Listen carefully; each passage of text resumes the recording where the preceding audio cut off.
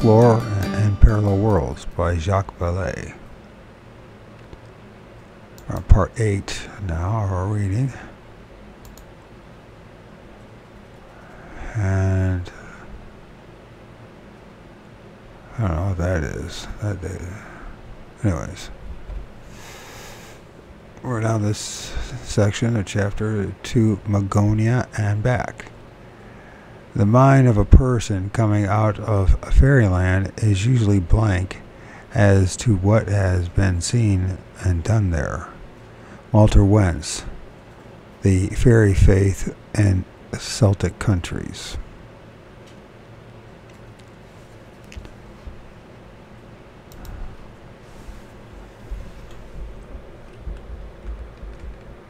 the fairy.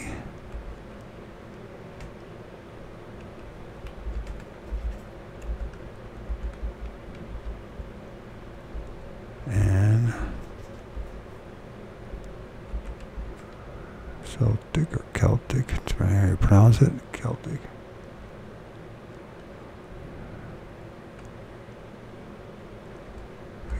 Countries.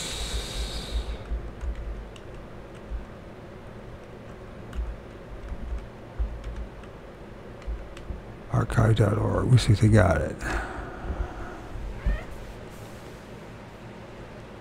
Looks like they do. Okay. The mind of uh, private first class Jerry Irwin was blank when he woke up on March 2nd, 1959, in Cedar uh, uh, City Hospital. He had been unconscious for 23 hours at times mumbling incoherently something about a jacket on the bush. Okay. When he became conscious, his first question was, "Where there were there any survivors?" The story of Private Irwin is a mysterious one, and very little has been done to clarify it. It has been mentioned only once in the UFO literature by James Lorenzen, director of APO, APRO Group, and has not, to the best of my knowledge, been the subject of subsequent investigation. Such an investigation, however, would throw light on some aspects of the UFO problem now gaining considerable publicity and causing some concern to those who follow the, the development of the sociological context of UFO reports. Perhaps, as Lorenzen suggests, there was a military investigation that has been kept secret. If so, secrecy on the part of the authorities, if they are really concerned with the nation's peace of mind, is not the best course, as the following review of the few well-established facts of Irwin of the Irwin case, which serves as an introduction to a discussion of the problem of con contact makes clear. Late on February 28, 1959, Gary Irwin, a Nike missile technician, was driving from Naples, uh, Napa, excuse me, Idaho, back to his barracks at Fort Bliss, El Paso, Texas. He was returning uh, from military leave. He had reached Cedar City, Utah, and turned southeast on Route 14 when he observed an unusual phenomenon.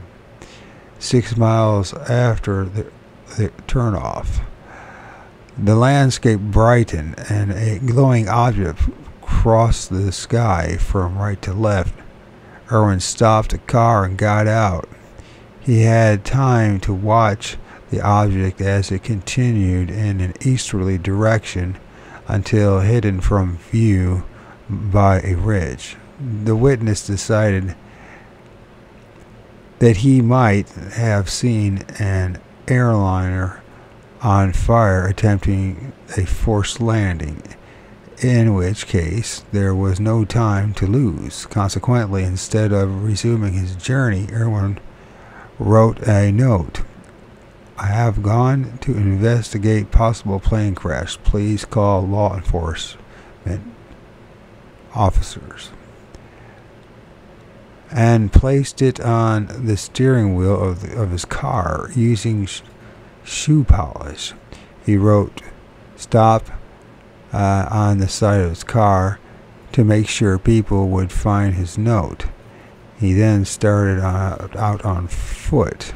Approximately 30 minutes later, a fish and game inspector did stop.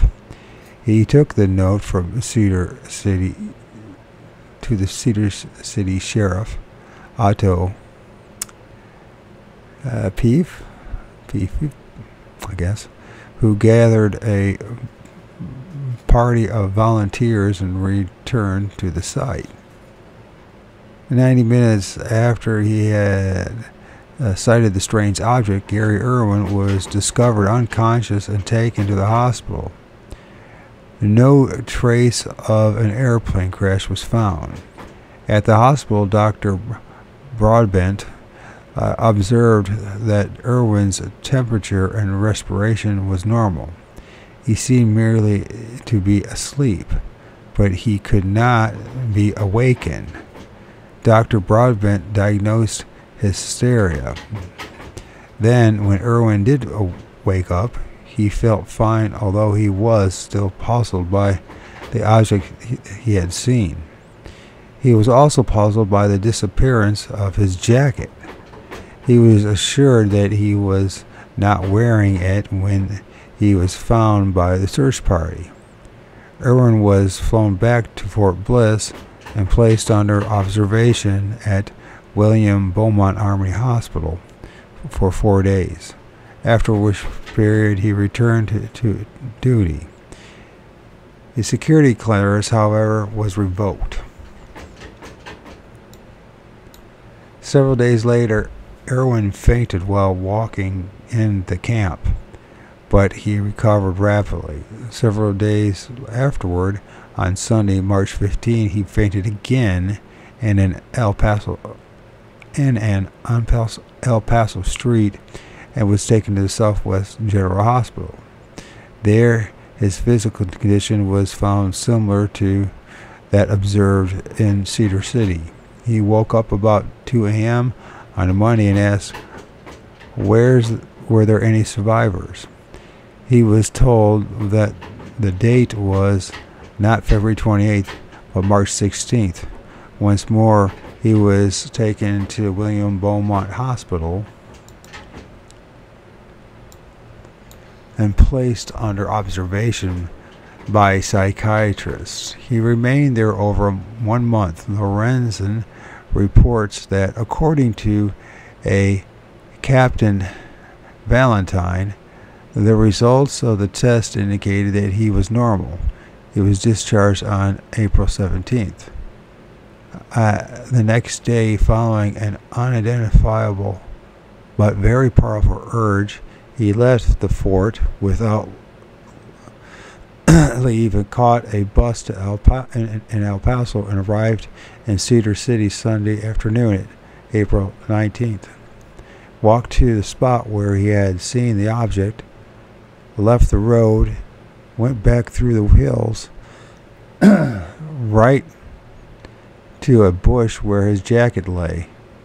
There was a pencil and a buttonhole with a piece of paper uh, wound wound tightly um, around it. He took the paper and burned it. Then he, he seemed to come out of a trance. He had looked for the road, not understanding why he had come there. He turned himself in and thus met Sheriff Otto. Uh, Pef, Beef, Beef, who gave him the details of the first incident. Lorenzens contacted Irwin after he had returned to Fort Bliss and undergone a new psychological examination, as futile as the previous one.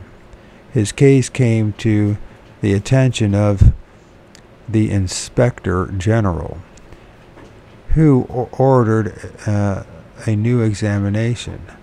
On July 10, Irwin re entered William Beaumont Army Hospital.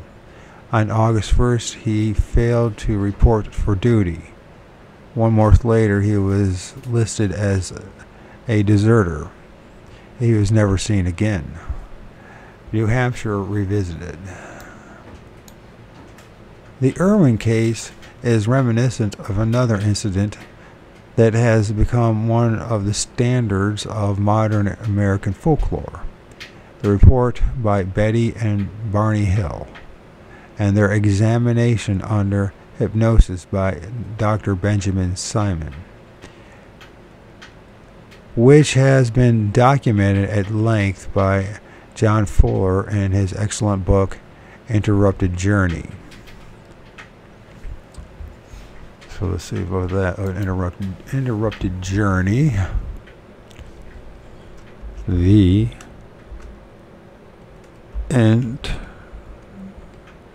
interrupted journey.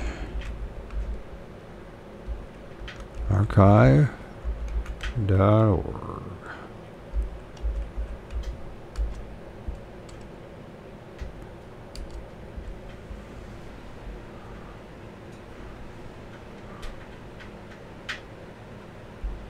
Might be, might be there. I'm not sure. It says John Fuller in Northern Jersey documented experience. Might be a video. It looks like they have that as well. I wonder if I should do these live instead of doing this way. It might be more tolerable by my fumbling and stumblings. Could be. The reader must carry in mind the main features of Irwin and Hill cases in order to follow the discussion. That is, the ca cases discussions in the object that is the object of the present chapter. So those already familiar with the cases must forgive me if I repeat what is already well known to them. But in doing so, I hope some observations will come to light that have not previously been published. Report number 100-1-61 and the files of the 100th Bomb Wing Strategic Air Command, Pease Air Force Base, New Hampshire, was prepared by Major Paul W. Anderson, the only official document concerning the Hill case. It apparently has never been it has never before been published yet it contains a detail of which both Dr. Simon and John Fuller were unaware. The object seen by the Hills had been detected by military radar. During a casual conversation on the 22nd of September 1961 between uh, Major Gardner uh, B. Reynolds, uh, 100th uh, Bomber I guess BW must be Bomber Wing, uh, DC 01, and Captain Robert O. Uh, uh, commander of 917-2 AACS DIT uh, Pease AFB, must be Air Force Base, New Hampshire and what revealed it revealed a strange incident occurred at uh, 0214 are um, local on 20 September.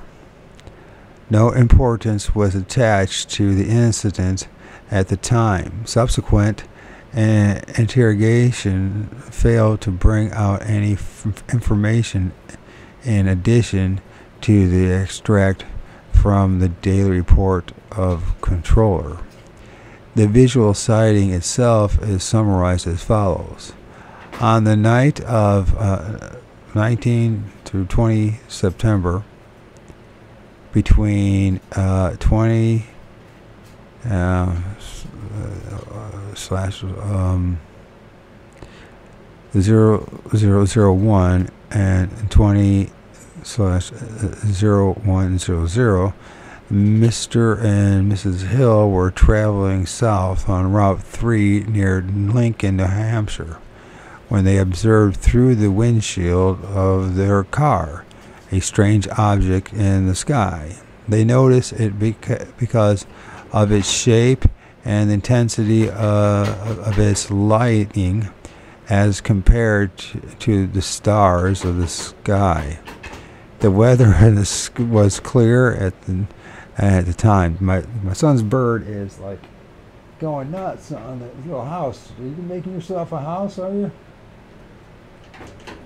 Going, going, going, going. He likes messing with it, huh? or she likes messing, whatever it is. Anyways, uh, in the report itself, under paragraph E, location and details, we read that Betty Hill's account of the sighting, as reported by Peace Office Pease Air Force Base officials. The observers were traveling by car in a southerly direction on Route 3 south of Lincoln, New Hampshire, when they noticed a brightly lit object ahead of their car at an angle of, uh, of elevation of approximately 40 degrees. It appeared strange to them because of its shape and the intensity of its lights compared to the stars in the sky. Weather and sky were clear. They continued to observe the object from their moving car for a few minutes, then stopped. After stopping the car, they used bino- binoculars at, the, at times. They reported that the object was traveling north very fast. They report it changed directions rather abruptly and then bended south shortly, and thereafter it stopped and hovered in the air. There was no sound evident up to this time. Both observers used the binoculars at this point. While hovering, objects began to appear from the body of the object, which they described as looking like wings, which made a V shape. With then extended the wings, had red lights on the tips. At this point, they observed it to appear to swoop down in the general direction of their audio, or their auto, excuse me. The object continued to descend until it appeared to be only a matter of hundreds of feet above their car. At this point, they decided to get out of the, that area and fast. Mr. Hill was driving and Mrs. Hill was watched the object by sticking her head out of the window. It departed in a generally northwesterly direction, but Mrs. Hill was prevented from observing it. Its full departure by her position in the car.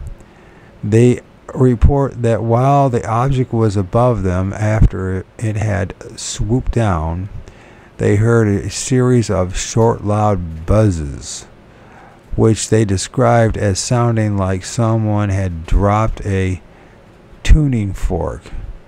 They report that they could feel these buzzing sounds in their auto. auto.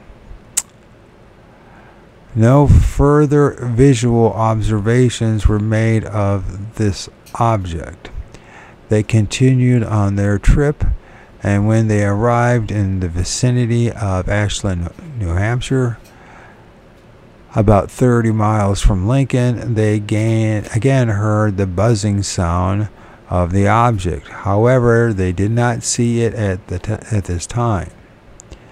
Mrs. Hill reported the flight pattern of the object to be erratic and changed directions rapidly.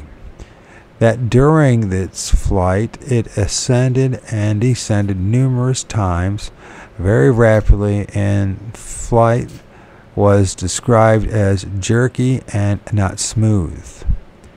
Mrs. Hill is a civil service employee in the Boston po- Post Office and doesn't possess any technical or scientific training. Neither does his neither does his wife. So did I say Mrs. earlier? Let's try this again. Mr. Hill is a civil service employee in the Boston Post Office and doesn't possess any technical or scientific training, neither does his wife. During a later conversation with Mr. Hill, he volunteered to volunteered the observation that he did not originally intend to report this incident, but insomuch as he and his wife did in fact see the occurrence, he decided to report it. Lie says, I, I, I don't know if this is lie, why? I don't know why he always says lie. Lie says that on looking, uh, it's got to be a misprint. Maybe it's he says. He says uh, that on looking back, he feels that the whole thing is incredible and he feels somewhat foolish. He just can't believe that such a thing could and did happen. He says, on the other hand, that they both saw what they reported, and this fact gives it some degree of reality. Information contained herein was collected by means of telephone conversation between the observers and the preparing in, and the preparing individual. The reliability of the observer cannot be judged, and while his apparent hostility and seriousness appears to be valid, it cannot be judged at this time.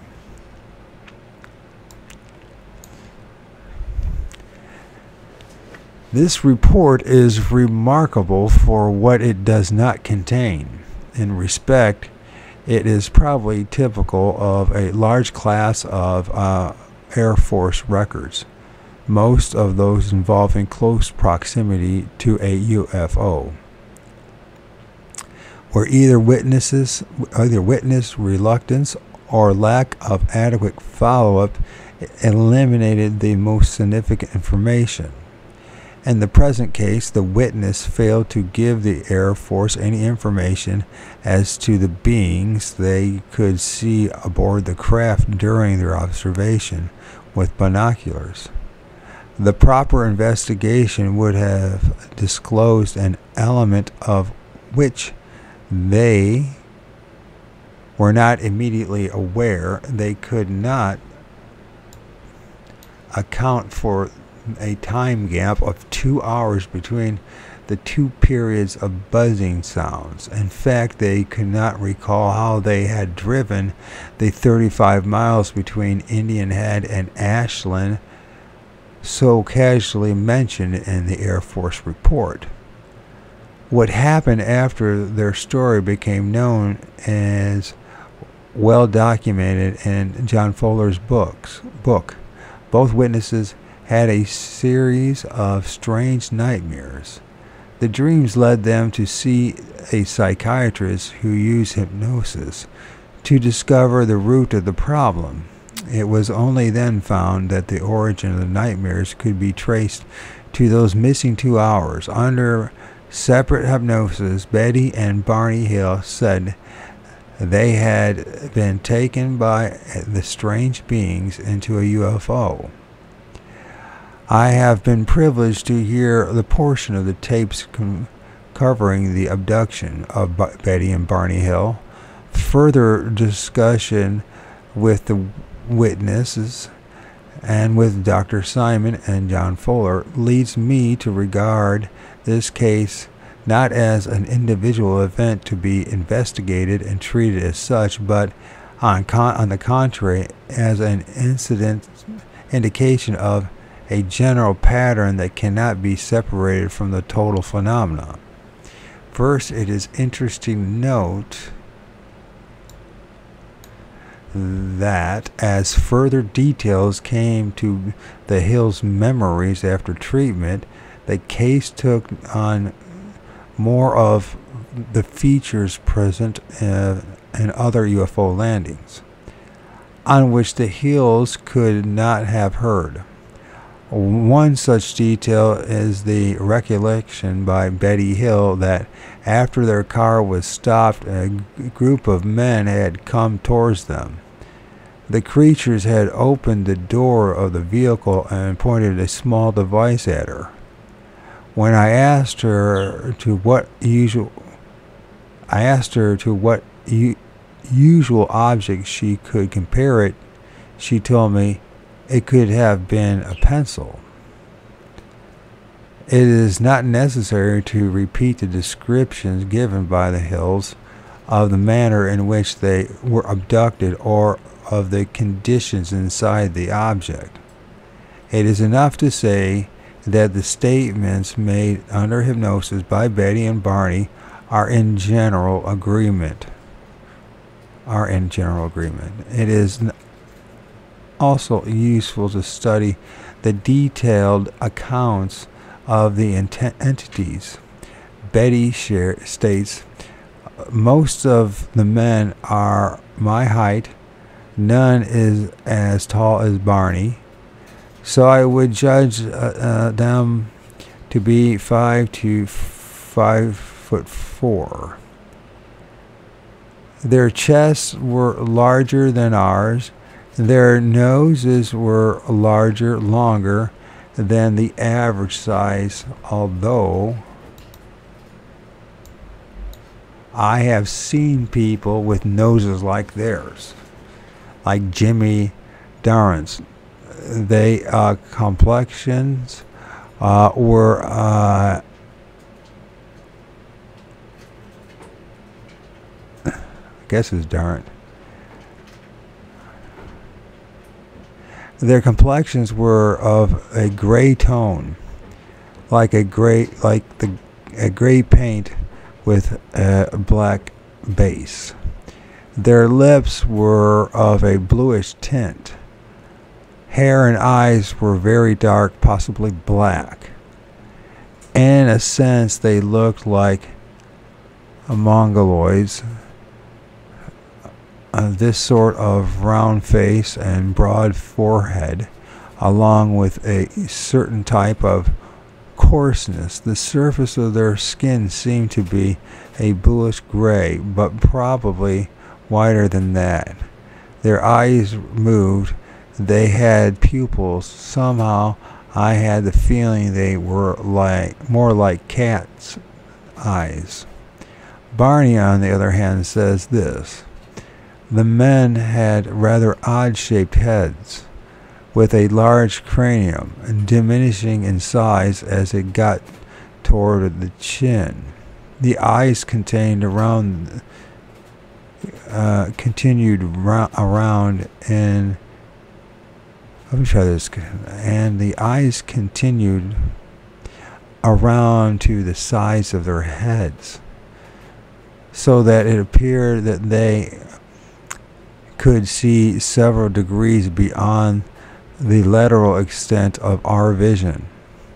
This was startling to me. The mouth was much like when you draw one horizontal line with a short perpendicular line on each end. This horizontal line would represent the lips without the muscles th- that we have. It would part slightly as they made this murm, uh, uh, mum, mumming sound. Mumming sound. The texture of the, the, the skin, as I remember it from this quick glance, was grayish, almost metallic like. I didn't notice any hair or headgear for that matter. I didn't notice any proboscis. proboscis. Uh, there just seemed to be two slits that represented the nostrils. There are some obvious contradictions between the two descriptions, but Betty speaks of very dark hair. Barney did not notice any. The men described by Barney did not exactly evoke in my mind the picture of Jimmy Durante, excuse me. On the other hand, the creatures are strikingly re- reminiscent of the UFO operators of the large number of stories unknown outside of the very small group of specialists. Apart from disagreement on the nose and lips, Betty's statement matches the description made by Barney of the shape of the head and the color and appearance of the skin.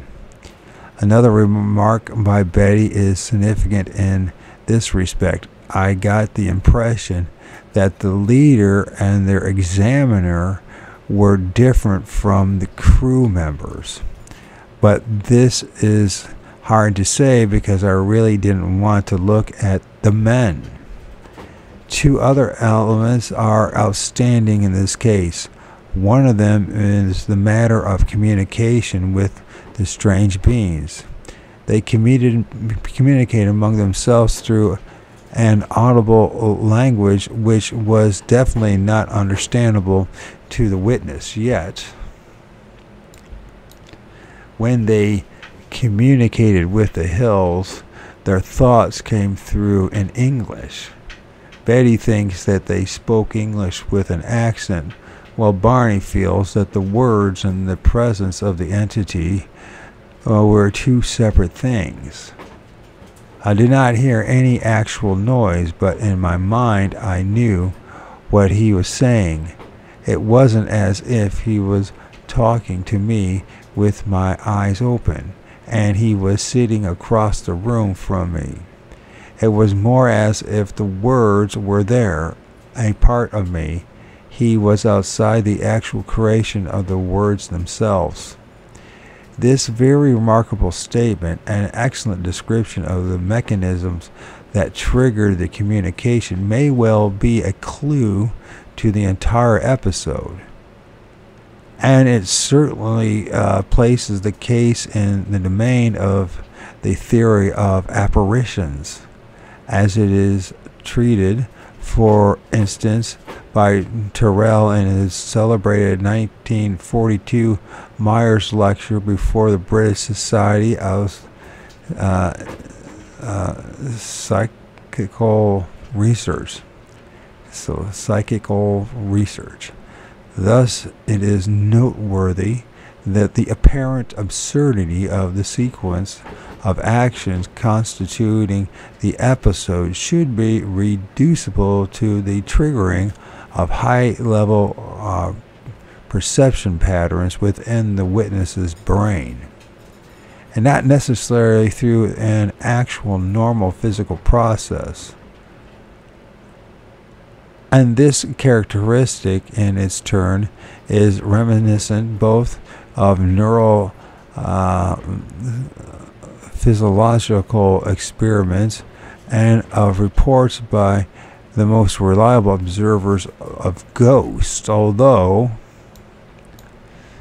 of course, ghosts are distinguished from the class of phenomena we are studying here by the absence of material traces, which makes their in- interpretation a good deal simpler, while it is probable that a complete theory of ghosts could confine the phenomena to parameters within the human nervous system.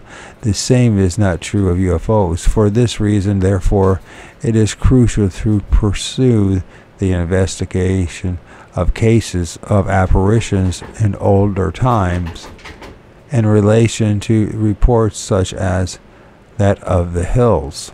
The recognition of a strong psychological or psychic if you prefer, component in UFO manifestations makes such a study imperative. If the phenomena are to be ascribed to uh, uh, psychological causes, then the causes must have manifested themselves during all epoch, epochs. Although naturally sociologists could give various reasons uh, to expect a considerable increase in such manifestations since World War II. On the other hand, if the phenomena, of the dog birder's just going at it, if if the phenomenon is not wholly psychological in nature, then the discovery of historical uh, antecedents would be a valuable clue to its nature. The experiment performed by Betty Hill by the entities is therefore quite remarkable. It will be recalled that while she was in the craft, Betty was submitted to a. Uh, uh for some reason, I'm thinking of Howard Stearns right now. it was uh, uh, it will be, and, and, uh, yeah. It was submitted to a simulated medical test under uh, hypnosis. She reported that a long needle was inserted into her navel, that she felt pain, that the pain stopped when the leader made a certain gesture with his hand in front of her eyes. A 15th century French calendar, the calendrier, calendrier des Berg, oh shit, Berger, Bergerier. So the calendrier des Berg years or Bergiers, something like that, shows the shows the tortures inflicted by demons on people they have taken. The demons are depicted piercing their victims' abdomen with long needles. It's probably what human beings were doing. In fact, the psychological and invariable uh, what is this? In fact, the psychological and variable and all these stories is unmistakable. The problem then is not to uh, identify it, but to relate it in a rational manner to the physical features encountered during the observations. For example, the tracking by military radar operators of the UFO seen by the hills. Perhaps we should illustrate the difficulty of this problem by using a case that is less well known than the Hills incident, though it is quite as dramatic. It has never appeared in the English UFO literature and therefore cannot have influenced American UFO lore. Even in France, it is particularly unknown. The incident took place on May 20, 1950 at about 4 p.m. I cannot reveal the name of the witness or the exact location. I can say, however, that the witness was a woman and that the episode took place in the central region of France near the Loire, um, Loire, see, Loire or Loire River. Um, an official investigation by French local police has substituted the physical traces mentioned in this report, which can be translated thus. Mm, boy, here we go. God, I hope there's not too many French words. Anyways, it's time to take a break.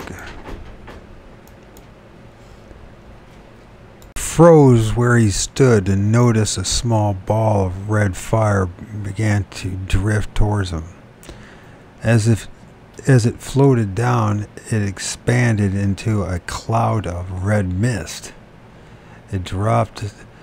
He dropped his light and uh, machete and point his arms over his face as the mist enveloped him and lie passed out. This is confirmed by the unpublished memora- memorandum written by uh, uh, Ruppelt on uh, September 12, 1952, upon his return from West Palm Beach, Captain Ruppelt and Lieutenant R.M. Olson began their um, investigation of the conference with, by a conference with Captain Corney. Wing Intelligence E O E I guess it's supposed to be officer. But it's spelled O E C E R. So, uh, intelligence officer with the uh, 1707th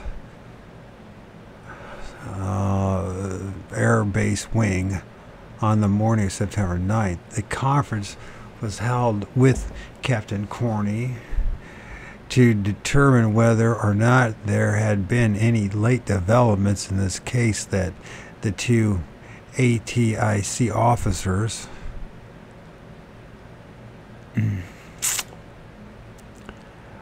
were not familiar with Captain Corney st- stated that he has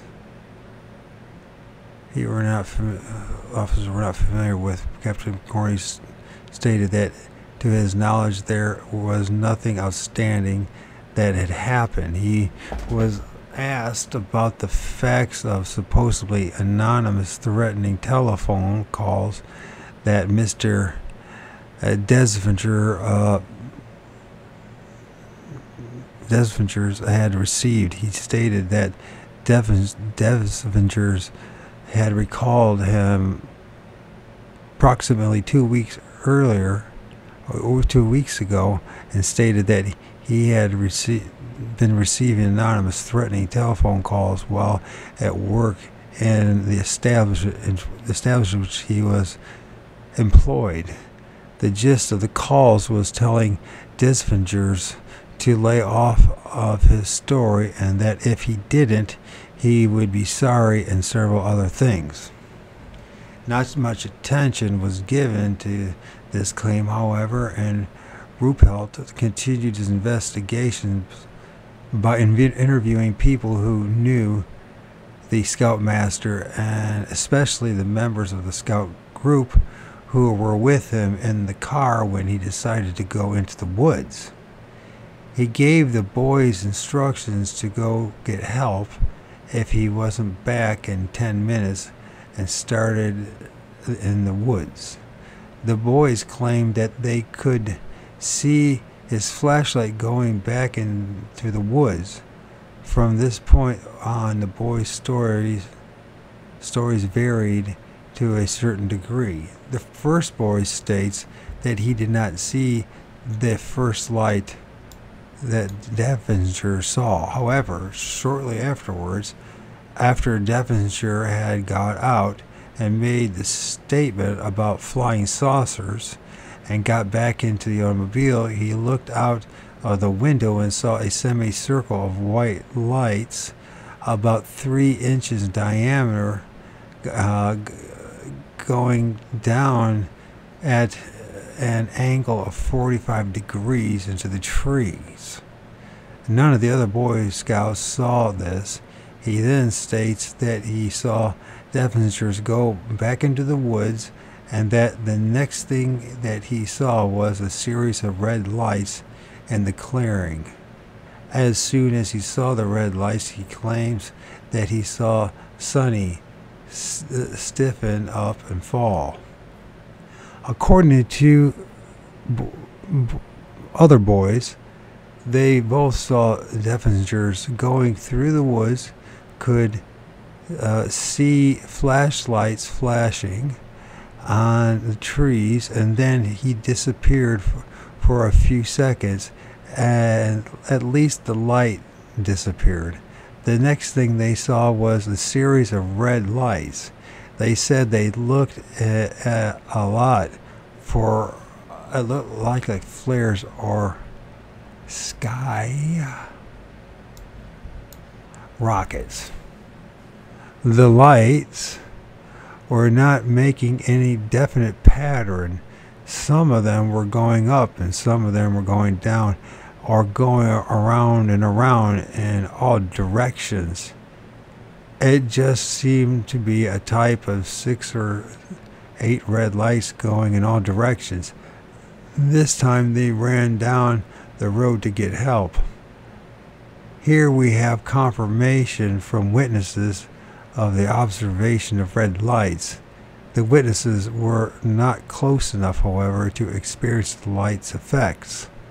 But it is interesting to remark that the lights kept going around and around uh, after the scoutmaster, according to his own account of the incident, was already unconscious.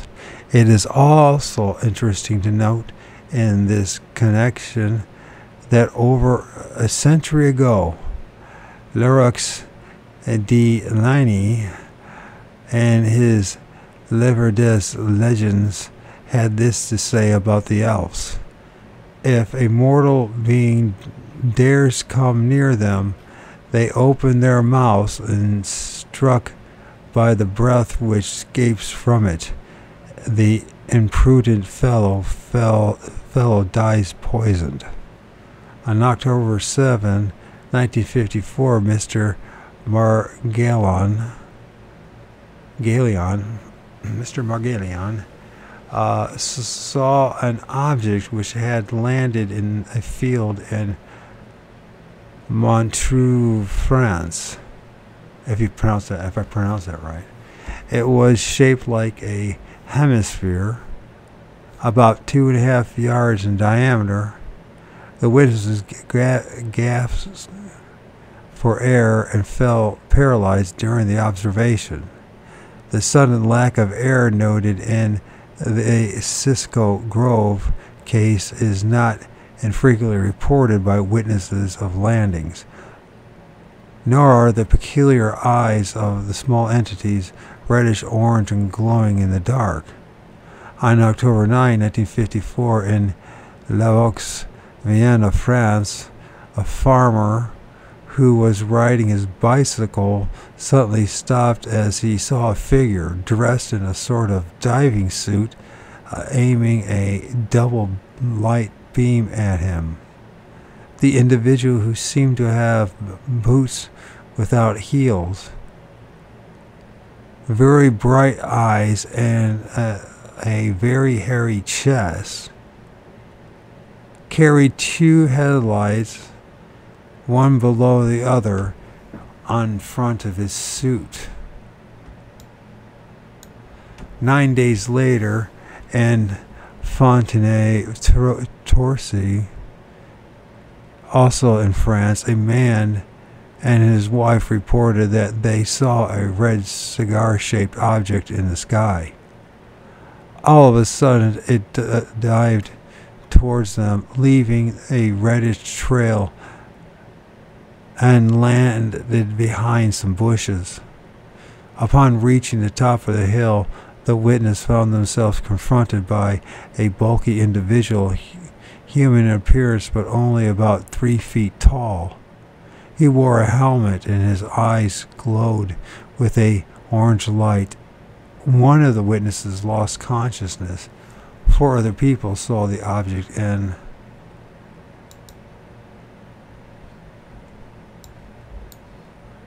in flight from other spot from other spot. A third group of independent witnesses in another town, and uh, this is uh, San fuck San Soila Poitre saw a uh, craft fly away at tre- tremendous speed in a westerly direction. The countryside was illuminated over the air one or two miles wide. It is indeed appropriate to tell the man who investigates such cases, and the words of Robert Herrick, her eyes, the glow worms led thee, the shooting stars and thee, and the else also, whose little eyes glow like the sparks of fire, befriend thee.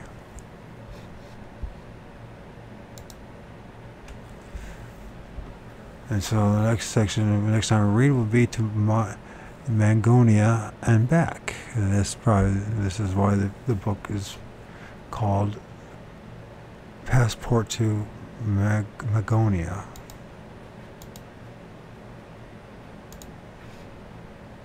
Okay. I was hurrying back home to prepare dinner. I was happy and content, and I was singing some popular tune. Everything was calm and still, without any breeze or wind. I was alone on the path. Suddenly, I found myself within a brilliant, blinding light, and I saw two huge black hands appear in front of me. Black hands. Each one had five fingers, have a black color with a yellowish tint somewhat like copper. The fingers were r- roughly formed and slightly vibrating and quivering. That sounds familiar. These uh, hands did not come from behind me, but from above, as if they had been hanging over my head, waiting the proper time to catch me. The black hands did not immediately apply themselves to my head. I probably took two or three steps before they touched me. The hands had no visible arms, and the two black hands I applied on my to my face with violence and squeezed my head, as a bird of prey rushing on its unfortunate helpless victim. They pulled my head back against a, very hard chest, one that seemed to be made of iron. I felt the cold through my hair and behind my neck, of course, but now no contact with, with clothes. The hands were squeezing my head like a formidable vice. That sounds familiar thanks to my friend JT. Uh, and no, not abruptly, but gradually. They were very cold, and their touch made me think that they were not made of flesh. The big fingers were placed on my eyes, and I could not see any more. On my nose, so that I could not breathe, and also on my mouth to prevent me from crying out. When I was surrounded by a strong, blinding light, I had the feeling I had been paralyzed. And when the hands touched me, I had a very distinct impression of a strong electric discharge, as if I had been shaken by a lightning bolt. My whole body was an, an annihilated, helpless, and without reflex reflexes. I was like a broken toy between the inhuman hands of my unknown aggressors. But a little over a minute, I felt his hands tightening very strongly on either side of my throat. It was horribly painful. Then he began to swing me forward and backward several times, still fiercely squeezing my head against his chest.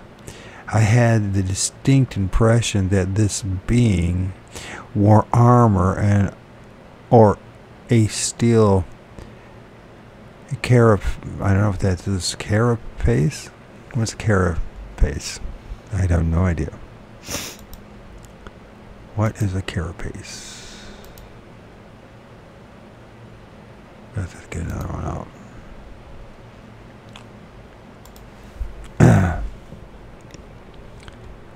I'm probably not even spelling it right. Cara. Did I spell it right? Carapace.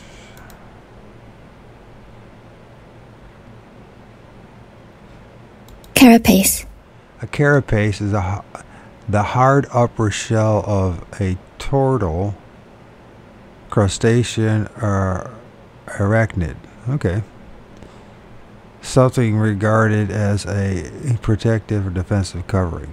Well, carapace. Do you think of my background in, envir- in ecology, I would have known that, but I didn't. So, and there we go. Anyways. It's like a shell of a turtle or uh, an insect or a crustacean. Now I gotta find myself again. Electrical unknown and pressure minutes later struggling to begin to squeeze through the throat and furious compression. I mean armor or steel carapace shell or some very hard or cold material. I felt his two invisible arms pressing heavily on my shoulders. It was at that moment that I heard his laugh, a strange laugh. I couldn't explain. It was as if I heard him through some water, and yet it seemed quite close above my head. At, at first, it sounded rough and hushed, then rather strong and rolling. It made me shudder and hurt me. After a few seconds, uh, the laugh stopped, suddenly cut off.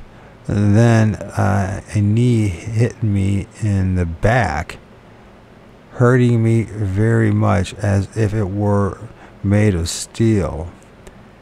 That made me think my aggressor was completely covered with steel.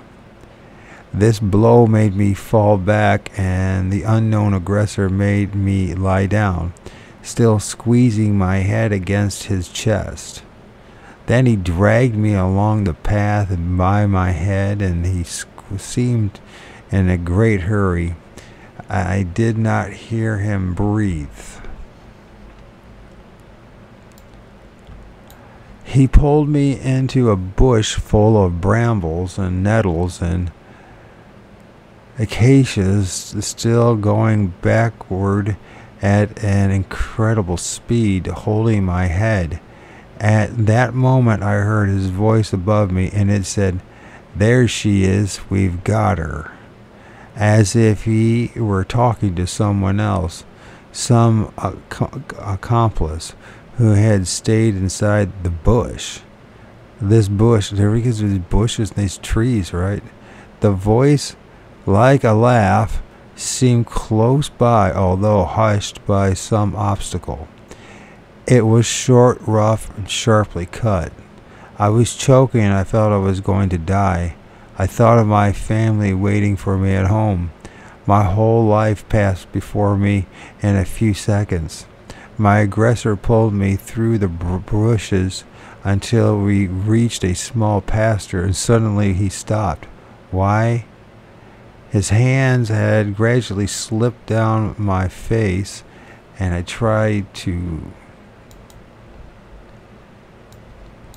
call for help, but I had no voice but no voice left but a tiny shrill cry. After a while I was able eh, to sit among the brambles. I had a very hard time breathing. My bag was still in my hand with my with money the money it contained. At last I was able to get up in spite of my weakness, and then I heard some noises to my left side of the bushes. I thought I was going to see my aggressor aggressors recognize their faces, but I saw nothing. Only the branches moved. Only the, uh, the branches moved, waving in the air. I saw and heard the brambles scratching the empty space, and the grass being pressed as if under the steps of some invisible being. I was terrified. Softly I took to the path again, walking with difficulty. My legs were lacerated by the brambles and bleeding. I felt a strange sensation of nervous exhaustion, indefinable, as if I had been electrified by a strong current. Well, because maybe I, it's a good thing I did leave that place with that Crow Indian when I did. In my mouth was a sickening metallic bitter taste. My muscles did not obey me. Over my shoulders I felt something like a bar and in, in, in my back a painful heat. As if I had been exposed to flames and to a burning ray. At times I still felt as if I was being brushed by the invisible brush by an invisible brush. I must have walked like that for five or six minutes. At the end of the path, there was a turn, and from there I could see houses, and then the pains decreased a, a little bit. Everything had lasted a quarter of an hour to 20 minutes, and it seemed that I had lived in an unreal, unreal world. Abruptly, I heard a great noise like a violent wind during a storm and sudden displacement of warm air or a violent whirlwind. I saw the trees bending as if under a sudden storm.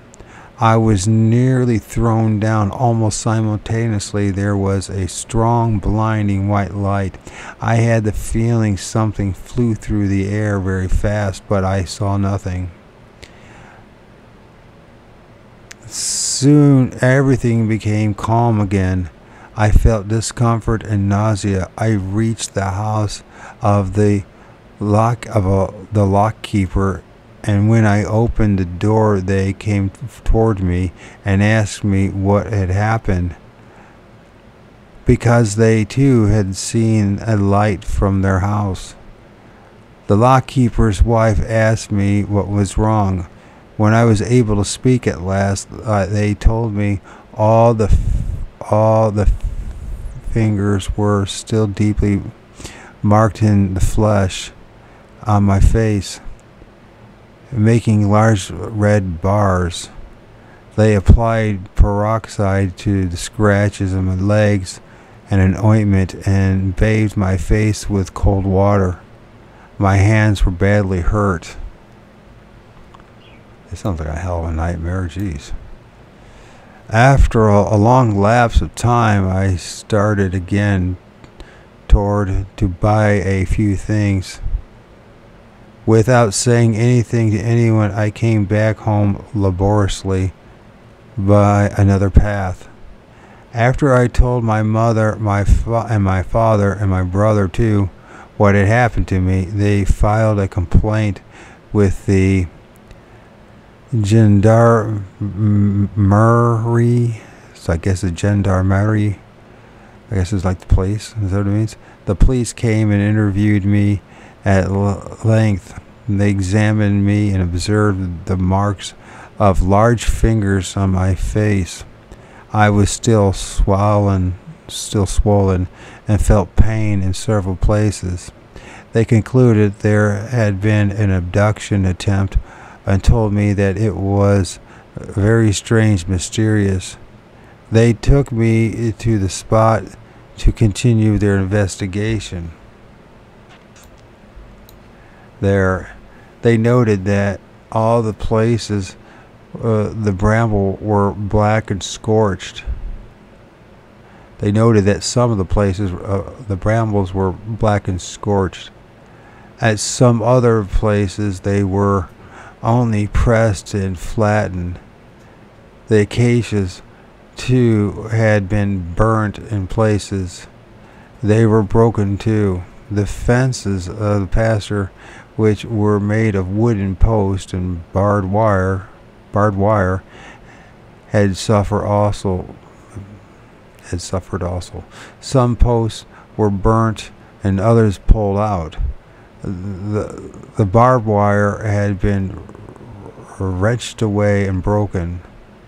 The previous day, at May 19, in the evening, the witness in this case had observed a kind of sh- shooting star which stopped abruptly and then appeared to go up and stay among the other stars for a while, then grow bigger and take on a kind of swinging motion. Its light alternately on and off. Suddenly it left on the curved trajectory and reached the horizon at very high speed. She had dismissed the incident for her from her mind at the time. The official investigation got nowhere and was dropped. The case is still carried as an unsolved abduction attempt. What can we say about such reports? They are neither more or nor less believable than other UFO sightings. They are in the line with some of the most dramatic stories of the older days, which inspired the fairy tales. They are also in line, as we shall see, with the visions of the 1897 airship and the incidents that followed it. But it is too early to theorize. It is better at this time merely to inspect the documents though I must confess that I have previously regarded many such cases as worthless, even if their documentation is not inf- inferior to that of the more believable cases we study. Take another abduction case, one that allegedly occurred on August 21st, uh, 1915. Gallipoli, Gallipoli, August 28, 1915. Following is an account of a strange incident that happened in the morning during the severest and final days of the fighting which took place at Hill uh, 60, uh, Suvla Bay um, then it says here, and ANZAC, Australian and New Zealand Army Corps. The day broke clear without a cloud in sight, as any beautiful Mediterranean day could be expected to be. The exception, however, was a number of perhaps six or eight loaf of bread shaped clouds, all shaped exactly alike which were hovering over Hill 60. It was noticed that in spite of a four or five mile and an hour breeze from the south, these clouds did not alter their position in any shape or form, nor did they drift away under the influence of the breeze. They were hovering at an elevation of about 60 degrees as seen from our observation point 500 feet up. Also, it sounds familiar, also stationary and resting ground right what did I read that right also and resting on the okay on the ground right underneath this group of clouds was a similar cloud in shape, measuring about 800 feet in length, 200 feet in height, and 200 feet in width.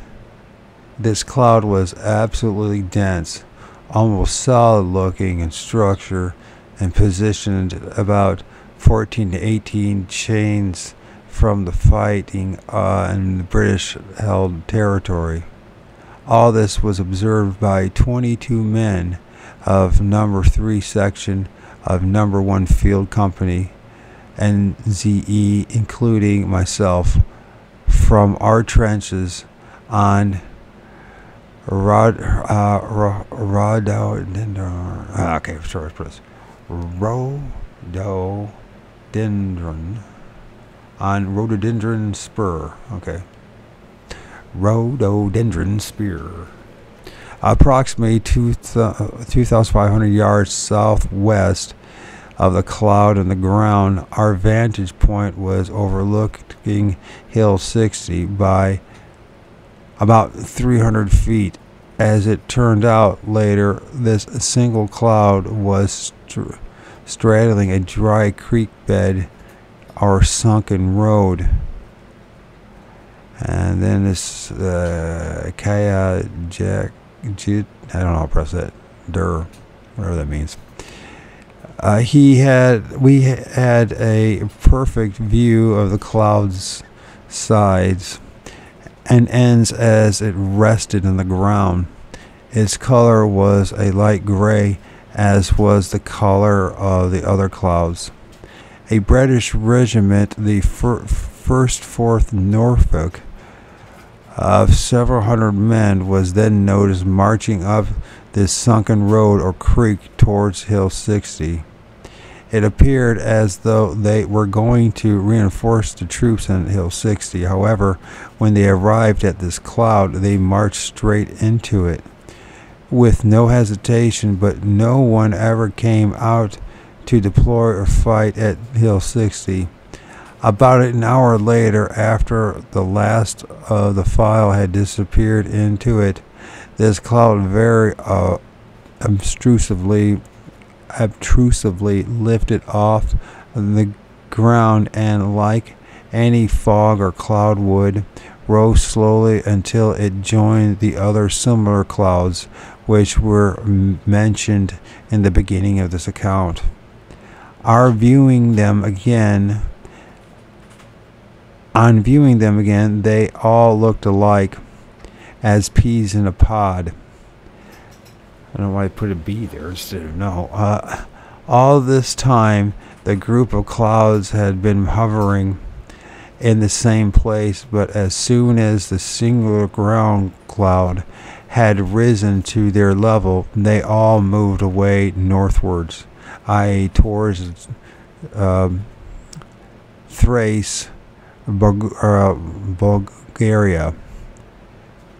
In a matter of about three quarters of an hour, they had all disappeared from view. The regiment mentioned in is posted as missing or wiped out, and on Turkey sur- surrendering on, uh, on on Turkey surrendering in 1918, the first thing Britain demanded from Turkey was the return of this regiment. Turkey replied that she had neither captured this regiment nor made contact with it and did not know that it existed. A British regiment in 1914 through 18 consisted of any number between 800 to 4,000 men.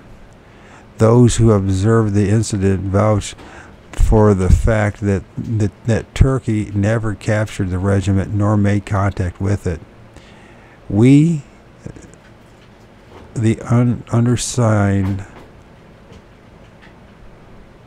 we, the under, undersigned, as though late in time, that is the 50th Jubilee of the ANZAC landing, declare that the above described incident is true in every word. Signed by witnesses.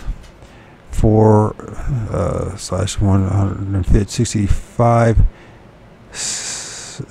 Uh, Sapper F. Reichardt uh, Matata Bay of Plenty. The 13 slash 416 Sapper R. Uh, newness. Newness. Uh, 157 King Street, Cambridge.